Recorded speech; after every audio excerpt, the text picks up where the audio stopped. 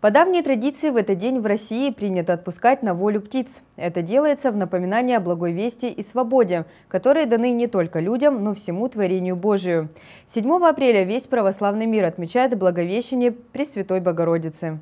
Название праздника Благовещение передает главный смысл связанного с ним события – возвещение Деве Марии благой вести о зачатии и о рождении ею Бога-младенца Христа. Этот праздник относится к двунадесятым непереходящим праздникам и отмечается каждый год в один и тот же апрельский день. С Благовещением в народе связаны некоторые старинные обычаи. Говорят, что в Благовещении птица гнезда не вьет, девица косы не плетет.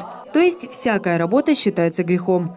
Празднование Благовещения не отлагается даже в день Пасхи, если эти праздники совпадают. А если это торжество приходится на дни поста, то пост ослабляется. Церковь разрешает в день праздника есть рыбные блюда и пить вино. В день празднования Благовещения в Свято-Успенском храме была отслужена божественная литургия. Немало прихожан пришли в этот день отметить светлый праздник.